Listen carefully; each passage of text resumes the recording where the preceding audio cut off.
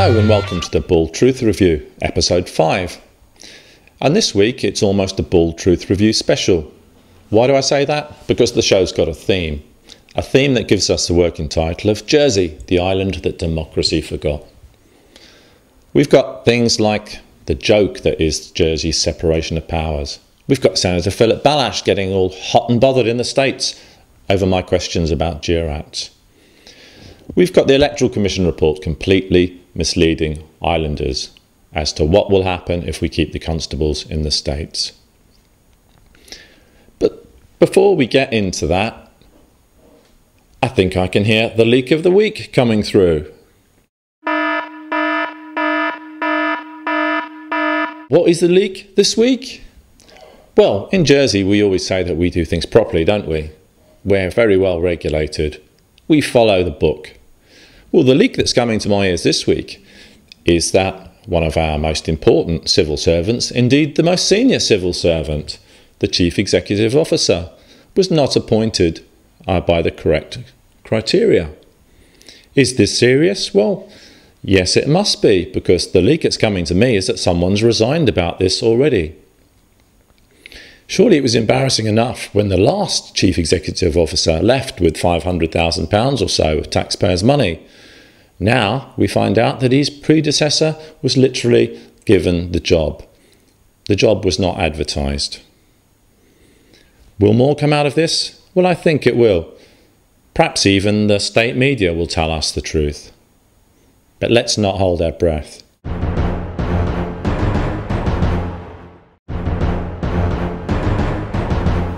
So, the next subject I want to talk to you about revolves around Jersey's separation of powers such as we have them. And when I say separation of powers, I'm talking about the, the legislature and the judiciary, and the fact that we have a bailiff, the chief judge, sitting as president of the state's assembly.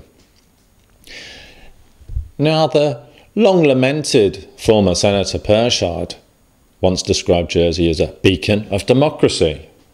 And he certainly had some of us rolling in the R's when he said that. But this week in the States, we saw perhaps what is the real problem with all of this. I was asking perfectly legitimate questions about JURATs.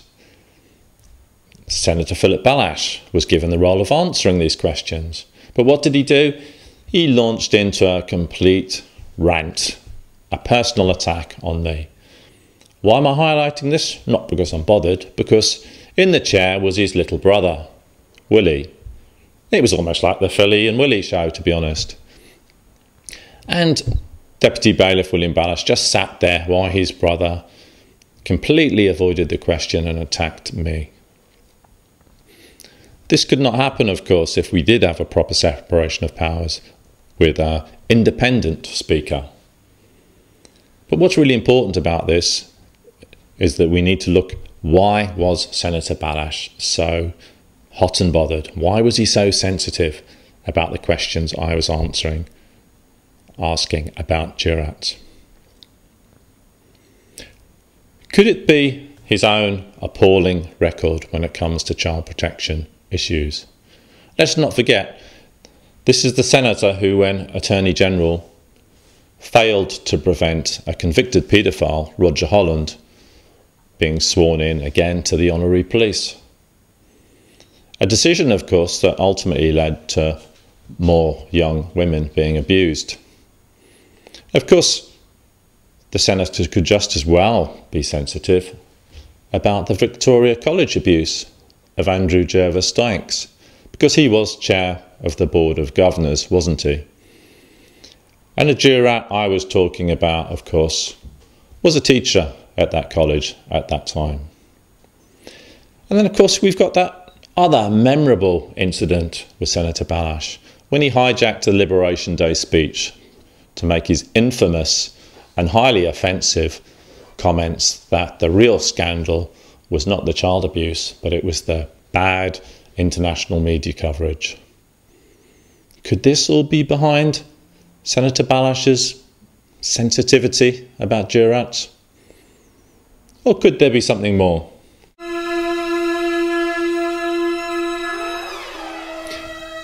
Possibly it's the fact that he knows that most people, and I'm certainly one of them, I'm not comfortable with the fact that we can have an individual sitting as a jurat for 14 years when he was quite happy, as the Sharp report proves, to put the good name of a school before protecting little boys who'd been taken out on boat trips, plied with alcohol, and then horribly abused and videoed by a paedophile teacher.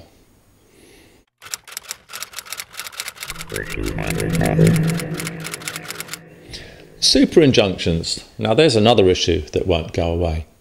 This week in the States question time, we learned that Jersey's Data Protection Commissioner can actually provide members of the public with financial assistance, taxpayers' money, in support of these super injunctions.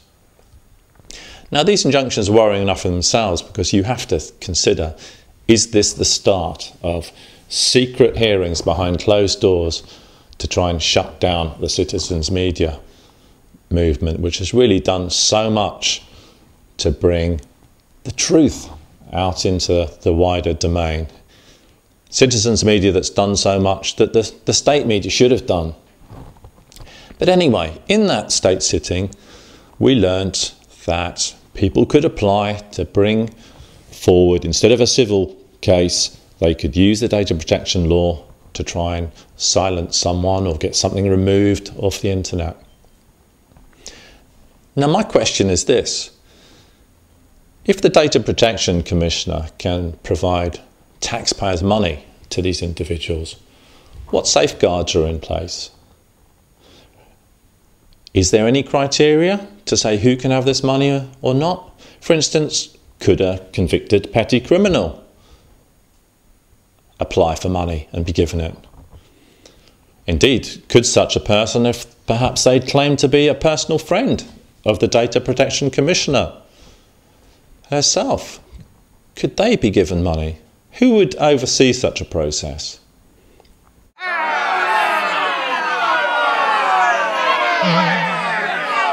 Now, this week also saw the visit of Ed Marsden uh, from Verita. Now, this visit largely took place thanks to Deputy Montfort Tadier, who'd really pushed for it, because as you remember, the Chief Minister and the other Chief Minister, certainly Senator Bailhache, didn't really want this. But about 20 states and members attended this uh, session, and it was quite interesting actually, because something that came out of this meeting and a couple of other states members approached me on this that Senator Bailhache just protests a bit too much about this whole issue of a committee of inquiry. Why doesn't he want it to take place and be as far reaching as possible? Because let's remember, we've heard from the former chief investigating officers that in Jersey, there are still allegedly perpetrators of abuse walking around in top positions within Jersey. How can that happen? How can we feel that our government are taking this seriously when these people are still there?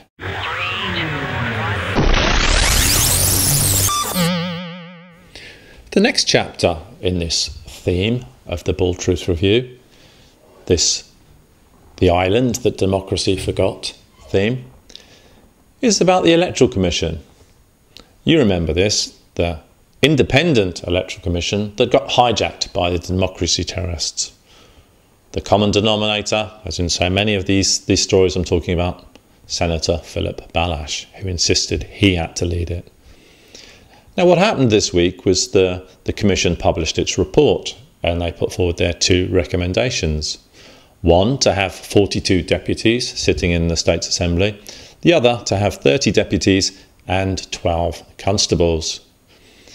Now, when you looked at the graphs published in the, their report, you could almost be taken in that the key concern of the progressives, i.e., that everyone in the island would have a fairly equally weighted vote, was almost being met. But I'm afraid to say, sleight of hand is being used here.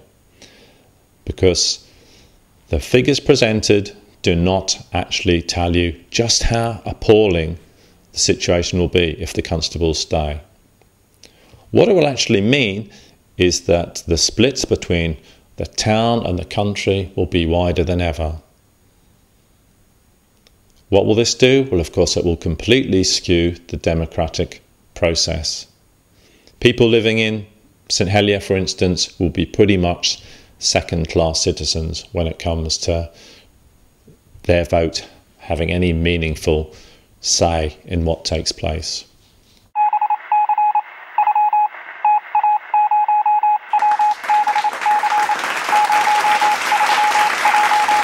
I turn next to the state media. And most viewers will probably recall that a few weeks ago, a challenge was put out by Mr. Rico Sorda, a challenge to the state media. This followed headlines such as allegations without substance. And what it was had been basically an attack in the Jersey Evening Post, trying to put across the message that citizens' media, bloggers, just threw out these allegations, they made up these stories, without any evidence whatsoever. Basically, what the state media were saying that they were sort of second class media, not even worthy of the name. Well, as a, as a consequence of this, Mr. Sorda threw out this challenge. He offered a live debate, a challenge, if you like, where people from the citizens' media fraternity and the state media could go head to head. The BBC were willing to put this live on air. Now, someone was clearly going to get humiliated, weren't they? Someone would be exposed as not being able to back up their words. Would it be the citizens' media who backed down? Well, I can tell you today, no, it wasn't. Far from allegations without substance, what we've learnt this week is that the Jersey Evening Post's editors appear to be editors without substance because they will not take part. Why could that be? A chance to put citizens' media in its place. A chance to show just how honest and straight down the line the state media is. Propaganda or truth? Well, the BBC offer is still there. I'm willing to participate. Mr. Sorda's willing to participate. So I say to the editors of the Jersey Evening Post, come on, let's see if you've got the testicular fortitude to go head to head. Let's see who's got the evidence. Let's see who's got the facts.